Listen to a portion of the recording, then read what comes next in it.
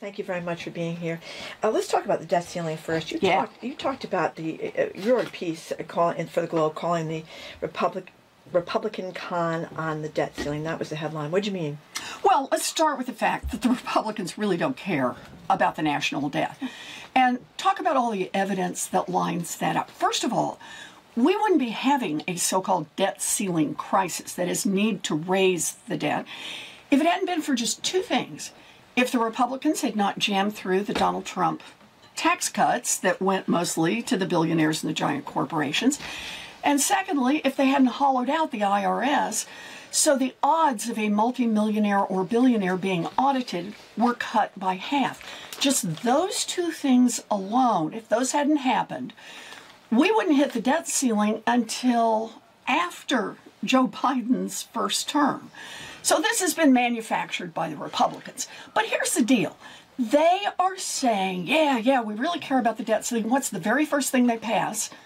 Take money away from the IRS, which means it's going to increase the national debt.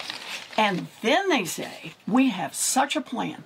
They want to put a 30% national sales tax in place on everything from rent to groceries to diapers to car repairs and give a massive tax cut to the richest people in this country. That's not serious about trying to reduce the national debt. You know, uh, Senator, I, I, when I watch, uh, well, on C-SPAN or whatever, there, uh, let me be as polite as I can. There are a bunch of dopes uh, in Congress, and I am not. And I'm serious. I am not convinced that a lot of the Republicans, the Boeberts, the Taylor Greenes, even know that this is money that Congress voted already to spend. Right. I mean, that's not. I'm right, am I not? You are totally right. No, not just about the concept, but that they don't get it. Well, they don't get it. And here's the interesting question Do they don't get it because they can't get it, or they don't get it because they don't want to get it. Mm-hmm. You know, these are people who came into Congress and they got one goal in mind in this two year period, and that is plow the ground so Donald Trump can get reelected. Right? Want to bring Donald Trump back. That's their, and they've made this very clear. And they embrace the chaos because they think that's going to be the best path for Donald Trump. And you know who's told him that's the best path? Donald Donald Trump. Trump. no, it's true. Donald Trump has already said, we've got the stuff on it where he says, you know why the red wave didn't occur, according to Donald Trump? The American people weren't feeling enough pain. But we're going to fix that between now and 2024. You know, Senator, I don't. I, I don't mean this to sound accusatory. I don't understand what's. Maybe you have. Why someone like you doesn't lead a charge to just get rid of the damn thing? Oh, why do we even Oh, I'm have there, this baby. discussion? I am there. You're referring to me Yes. with that comment? I want to be clear. I'm Thank you. Okay, yes, fine, yes, thank you. I am totally there. Of course, we should get rid of the debt ceiling, and there are 58 different ways you could do it. You just repeal the damn thing, Mm-hmm. or you could say whenever you authorize spending, which is what we've done, You're committed to spend. Exactly. You are automatically changing the debt ceiling for whatever it takes to accommodate that.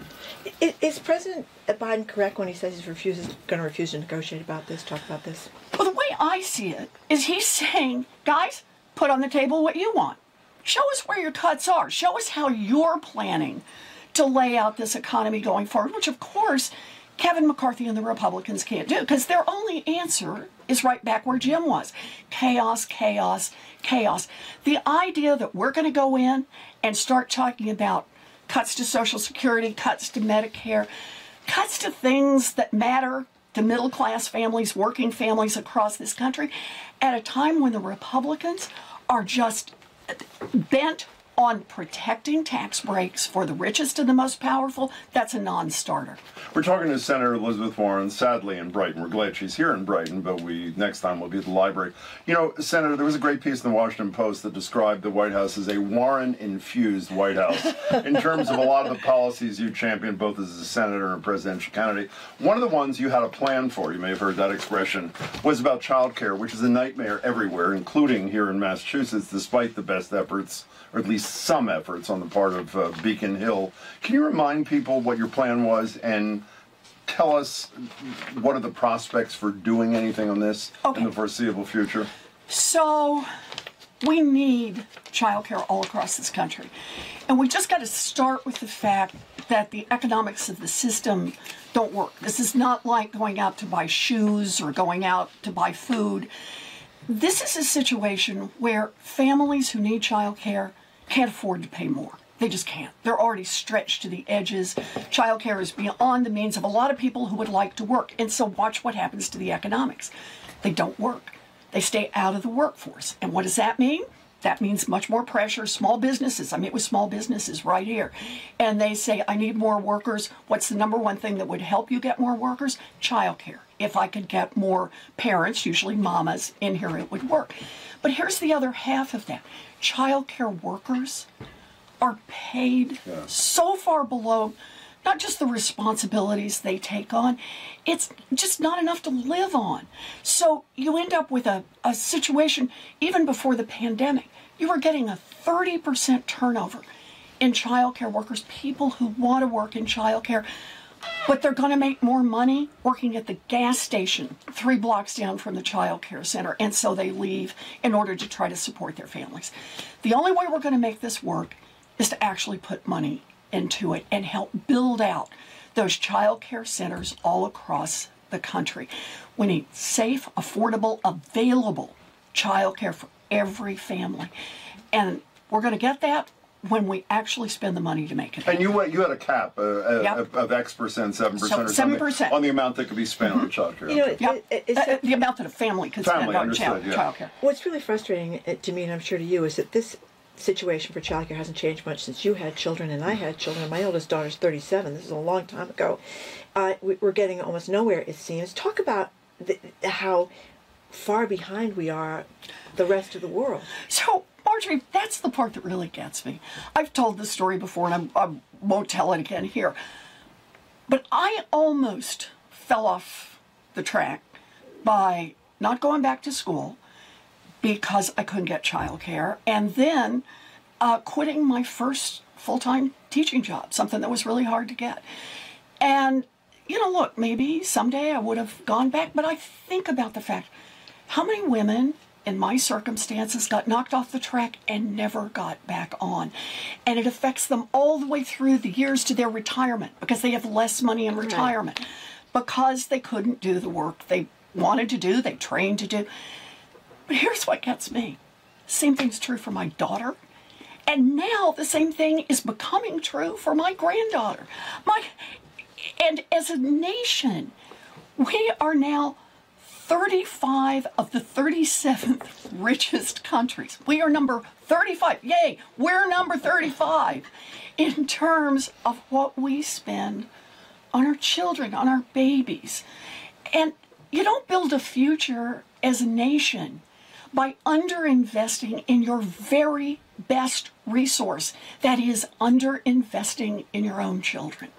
And by the way, I, I- the, the naive question I ask almost every time I see it, even though the Republicans don't want to spend money, is there one constituent that a Republican has who would not like to see more affordable?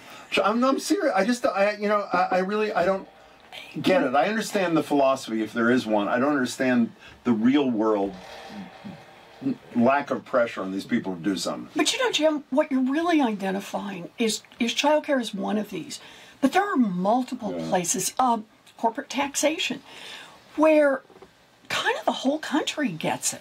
Uh, uh, the Stock Act, uh, uh, people in Congress should not be trading in stocks while they're making laws. There are these whole areas where you just can't get something through a Congress where Republicans are saying no, no, no, no, no, and and yet they're very popular. I I I make the argument often. A progressive agenda is America's agenda.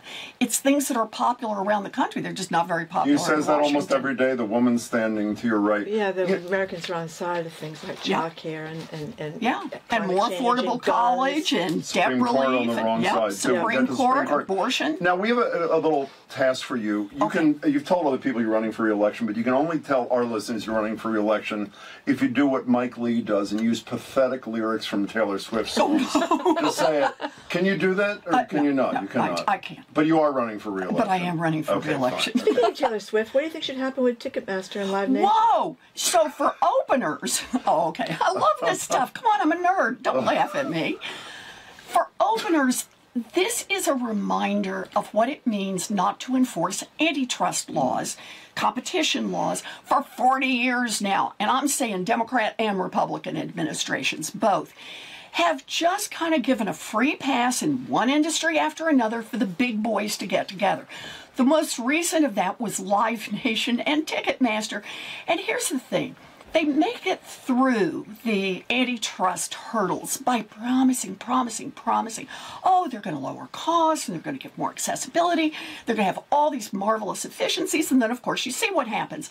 Because when you've got a monopoly like they do, or a near monopoly like they do, they're able to offer terrible service at high prices. So I think this starts by the federal government actually has the power to do this. Going back and looking at that last merger, and at least let's do a careful application of the law and see if it might be appropriate to break them up. Yeah.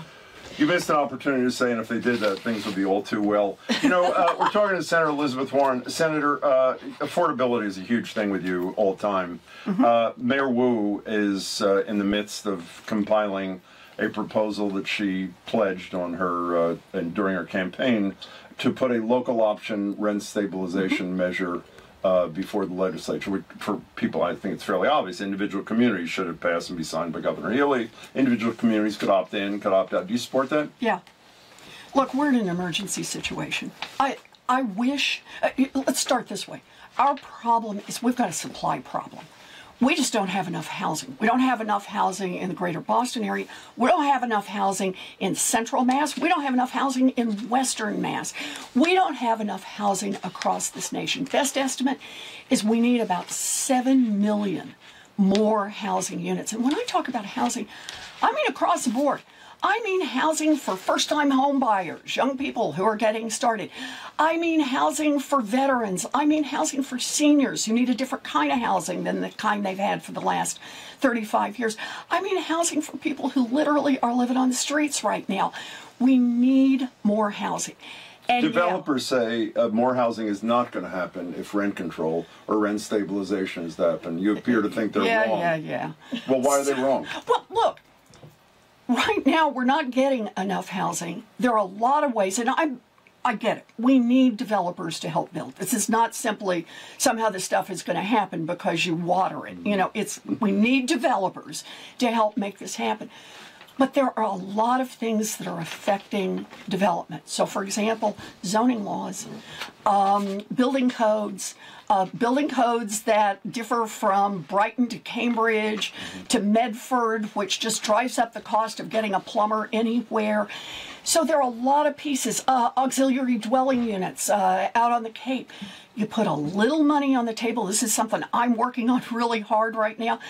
And you get more people who say, you know, maybe we'll go ahead and build above the garage and then we'll have something for year round, people who want to live out on the Cape, uh, something more for people who work out there. It, I, I think of it this way, Jim there is no single answer to how we're going to get 7 million more housing units. But you got to push in that direction. But in the meantime, you got to offer some relief to families who are just getting crushed. We're talking to Elizabeth Warren out here in Brighton. You know, Senator, uh, you talked about uh, in states that have outlawed or practically outlawed abortions, having abortions available in, in VA hospitals. Is, that, is that still a live proposal, or what's going on with that? Oh, we're in. So you are right, Margery. This is something I raised as soon as the the decision came down in Dobbs that the VA is has a legal responsibility and authority to provide the full range of healthcare services to veterans. So I called the head of the VA and said, you got to step up here. And I get it that you hadn't. I'm not. I I don't want to point fingers about where it's been in the past. It's what's happening now. And the VA has announced that they are changing their policy and they are offering abortion services to veterans who need it. Wow. Yeah. So, Elizabeth Warren, uh, to rep- every time I look at you, I think I have a plan. So, I, I'm, I'm sorry. I mean, you said it about 10,000 times, so it worked. I got it. Plans, but plans are good. Okay, when this Supreme Court kills affirmative action, which I assume it will in June, and when this Supreme Court, uh, uh, in my opinion, likely figures out a way to undo the student loan forgiveness that people like you and Congresswoman Presley impressed on the president and ultimately did it up to a cap of $20,000, what's the plan B on either front to get relief to borrowers who are drowning in student debt and to ensure that there's some diversity in higher education? Actually, you know, uh, you're right, and these two are going to link to each other. Uh, let me just start by saying if the Supreme Court applies the law as it is written, then debt cancellation will go through. Uh, I don't have any doubt about that. The problem now is I'm worried about a Supreme Court that is playing politics instead of law. So, what are we going to be able to do instead? And the answer is I want to say more than anything else, we're not giving up on this.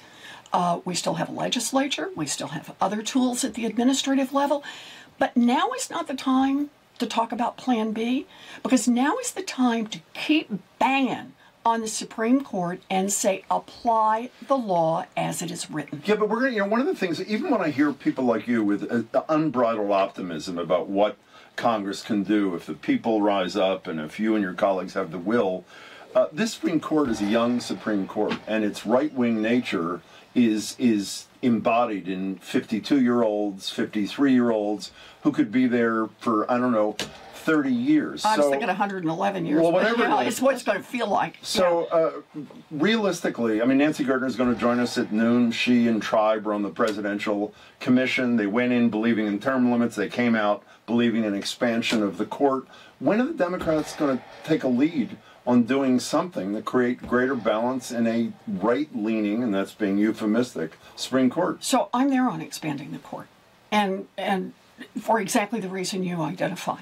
I look, I'm I'm a law professor or was and taught law for a long time. So you talk about something like changing the makeup of the United States Supreme Court in some way other than people die and other people come on, and it just it frizzles my eyelashes. I'm like ah, and yet when you've got a court that has now been taken over by this kind of right wing, out of touch, extremist political agenda, and that they are aggregating power to themselves. You know, courts, this was always about the, the three parts of government.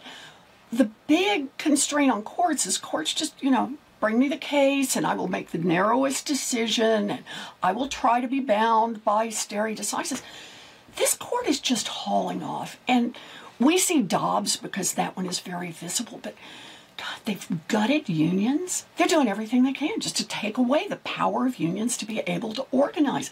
They're doing everything they can, as you say, giving every signal that affirmative action is going to be out the door. But you know, realistically, So- if there was a vote on the Senate floor today, even with 51 Democrats, would you have 30 votes, if if that? you know, Jim, you don't have any votes if you don't start talking about it, fighting for it, explaining it. You got to socialize this stuff. Can I give you an example of that? Mm-hmm. So, you and I might have talked back during when I was running for president. One of the things, I had a lot of plans I wanted to do, but you may remember I paid for every one of those plans.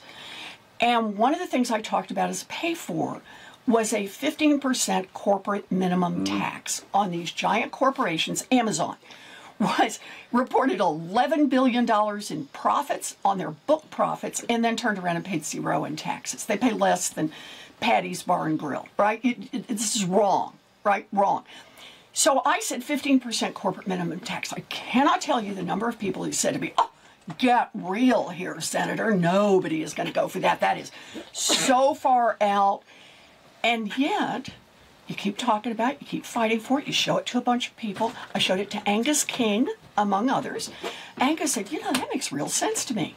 Angus and I start talking to more people in the Senate. And then last summer, when the negotiations were occurring for what became the Inflation Reduction Act, there was the part over pharmaceuticals. There's that huge part, our biggest effort ever on climate change initiatives, about $350 billion, paid for 100% by a 15% corporate. Moved from something nobody could even envision to the center of the Democratic Party. We all voted for it, made it happen. Talking to Elizabeth Warren. You know, speaking of uh, ha- you're having run for president, should Joe Biden run again for president? He'll be 86 by the time his second term is over. If he Yes, he should run again. Why? And he is running again.